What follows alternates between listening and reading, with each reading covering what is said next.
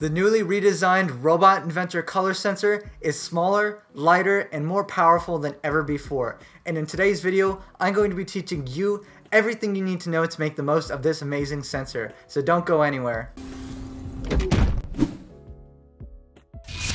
What is up everyone? It's your boy Kyle here again, broadcasting to the Builder Dude Nation with yet another exciting Mindstorms tutorial. So the LEGO Mindstorms Robot Inventor, as you guys all know, brought along with it two new exciting sensors. The most exciting of which arguably is the new color sensor. Compared to the EV3 color sensor, the new Robot Inventor color sensor is about half the size. It has the same square footprint, but it is half the length and in my opinion it offers a much better more improved form factor that offer a whole bunch more mounting options than the EV3 sensor did.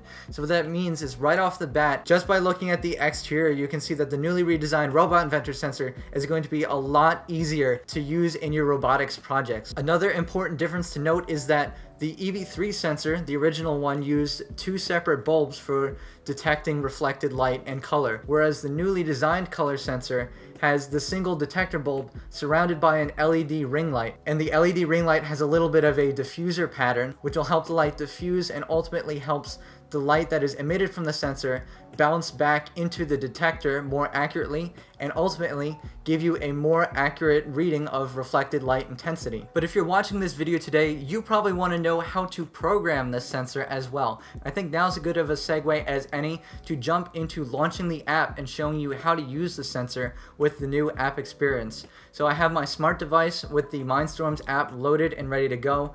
I have a color sensor connected to port D of my robot, but really any port will be fine. And the intelligent hub is already connected via Bluetooth to my smart device.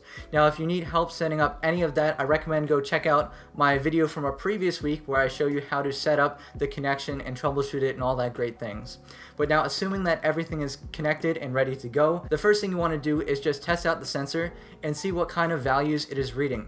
So with the app experience open, click in the top right corner where you see the brick icon and it will give you a port view of all of the sensors and motors that are connected to your intelligent hub. It shows you the current reading of every attached piece of hardware.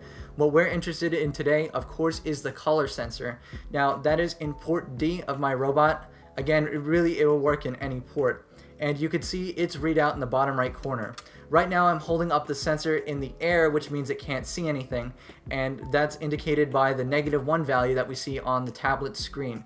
However, if I click on the sensor icon, it brings a little drop down menu and I can select the different modes that I want the sensor to operate in. By default, it's in detected color setting, uh, which is what it is now. So I'll just click that again to keep it in color setting. So seeing as this is the color sensor, let's give our sensor a colorful object to look at to verify that it's working. And for this test, I'm going to be using my bright red Miata plushie. When we put the color sensor up to the Miata, and we can see it detects the red color, which is, you know, exactly what we would expect. Now, of course, that's the simple color mode, but if you notice at the bottom of this drop-down menu here, there are three more options that are color related. You see red, green, and blue. And what these are is these are raw sensor intensity values for each of these three colors. Now, if you didn't know, red, green, and blue are the three primary fundamental colors for optics. So the human eye has three color receptors, red, green, and blue, and that's why LED TVs are able to make every color imaginable with just three colors in their pixels, red, green, and blue.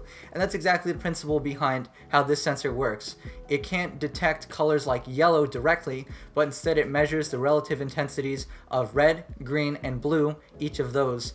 And if there's a high intensity to both red and green, for example, it knows that color is yellow. So let's try out these raw sensor values on the Miata plushie. So I clicked on red and this is showing us the intensity of red light only. And as you would expect, if you take the sensor and put it up against a bright red object like this, you're going to see a very high reflected light intensity value for just the color red.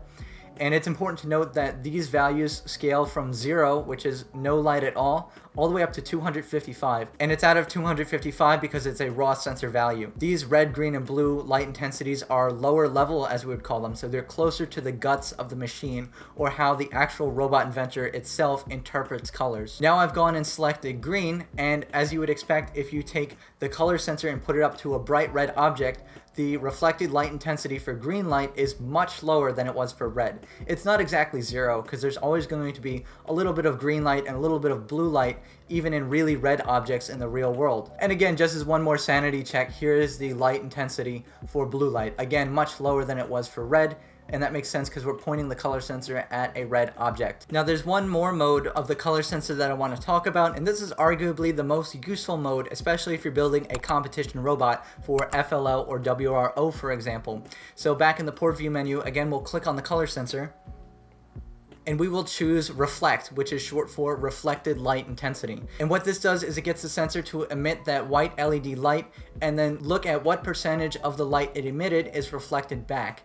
And this is great because it can tell you roughly how light or how dark the surface that the sensor is looking at is. So a dark surface will reflect less light and you'll get a lower percentage of reflected light intensity, therefore a lower reading on the sensor.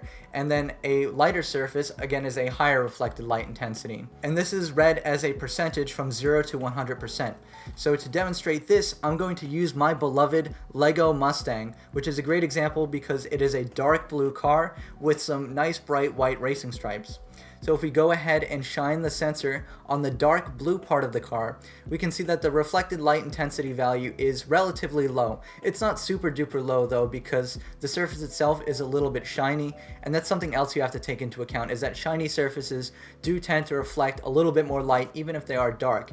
However, by comparison, if we go ahead and move the sensor over to one of the white racing stripes, we can see that the reflected light intensity value is now much, much higher than it was before. And this is how competition robots built for FLL and WRO are able to detect lines and other designs on their competition mat when they have a sensor aimed downwards at the ground. I have the Mindstorms app open and now I'm ready to walk you through a couple of examples of using the color sensor in the context of an actual program. So this first example I'm going to show you is how to use the color sensor in the context of an event. So let's say your robot is doing one thing and you want the robot to watch for some condition on the color sensor. When that condition is met, you want the robot to interrupt what it was doing before and do something else. So that's what we're doing right now. So first we want to say what is the original thing that we want to do. In this toy example, we're just going to set the robot to start driving forward. So in the movement tab, I'm going to go ahead and choose set movement speed to 50% and then start moving um, in a straight line. So this is the first thing that our robot is going to do that we want to be interrupted when the color sensor meets a certain condition. So then we want to go into the events tab and we're going to say when our color sensor sees the color red, this is the event that's going to interrupt what the robot's already doing and start the code on a new branch of execution. And make sure you select the correct port. So I have my color sensor in port F and you can choose any number of colors on here. Uh, I'm going to keep it the default red because I'll put a little red piece of tape on the ground. And then let's say when the color sensor sees red, we want the robot to stop in its tracks. So we'll say stop moving right here. And we can even have it play a sound and light up. So let's say uh, we'll set the center light button to green and we will play a little sound. So uh, drag out a play sound. And this is one quick example of how to get the color sensor to interrupt on an event trigger. So let's see what this looks like. If that wasn't cool enough, there's actually another way we can get the color sensor to interrupt the flow of a program and get your robot to do something else. So let's say you want to actually use the reflected light intensity read by the color sensor to trigger an event. We're going to have to structure the code a little bit differently, and this is a great way to introduce us to using comparisons on sensor values. So what do I mean by that? So let's say we have a similar scenario as before. So we have the robot just starting off driving in a straight line, and eventually we want it to stop moving, play a sound, and light up. So if we want to interrupt this with reflected light intensity, what we can do is go into the control tab, click on wait until, and drag that under here, and then drag the rest of the code under that. Now in this hexagon shaped field, we can set a conditional on the color sensor's reflected light intensity. So go into sensors and you're going to want the hexagon shaped block that reads the reflected light intensity. So it's this one. So if the color sensor in port F reads a reflected light intensity less, less than 50%, that is going to trigger the stop condition. So let's check out this code and see what it looks like in action.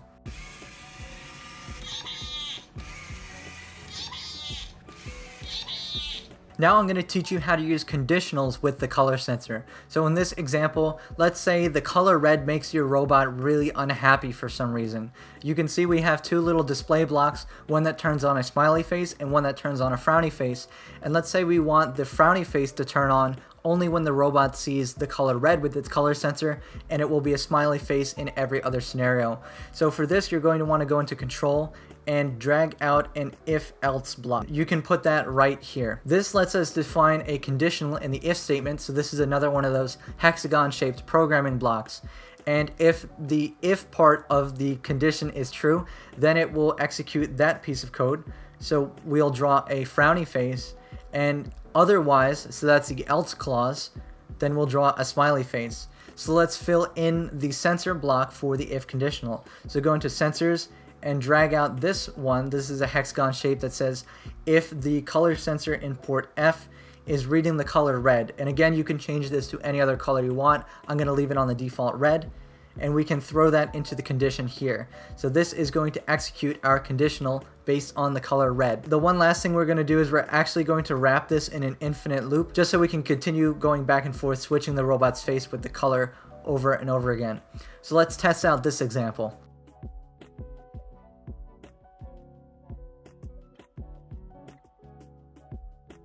This last example is going to be slightly more advanced. Let's say you want to directly read data off of the sensor and have it control some part of your robot. So to directly read data off the sensor, uh, go into the Sensors tab and then select one of these round kind of like oval shaped blocks. This works best in my opinion with reflected light, but you can also do it with color. So we'll say the color sensor in port F we want it to read the reflected light value. And that's what this block does, is wherever you place this block, it will read the numerical value on the sensor and plug it into the expression wherever it is. So for this example, let's say we want to use the reflected light intensity to power the motor. So when the reflected light intensity is 100%, we'll run the motor at 100%.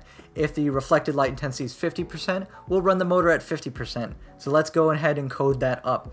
So you're going to want a infinite loop for this just to keep the sensor continuously updating. And we're going to need two motor blocks. So we're going to need one that sets the motor speed to some amount of power. And this is where we're going to plug in the sensor block. So that goes in right there. And that's basically saying the motor in whatever port this is, so I'll say port C, set its speed to the same value of the reflected light intensity. And then we're going to say for that motor, just start running that motor at that power and make sure these two ports match. So if you choose port C up top, make sure it also says port C on the bottom.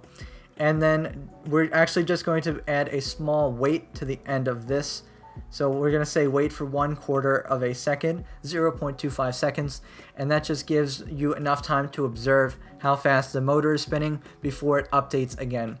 So again, what this code does is every quarter of a second, it's going to read the reflected light intensity percentage off of the color sensor, then set our motor in port C to rotate at that speed. So let's see what this looks like.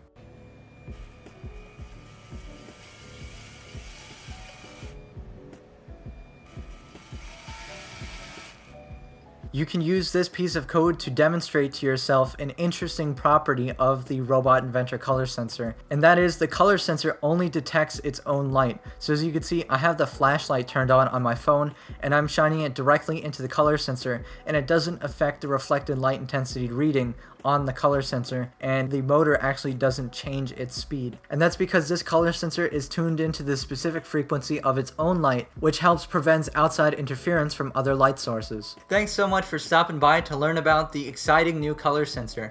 I want to know, what do you have planned with the color sensor? What kind of awesome robots do you want to build with it? Let me know in the comments section below. And if you really enjoyed this video, consider leaving a like on the video and subscribing because I do videos like this every week. Thanks guys, and I'll see you next week.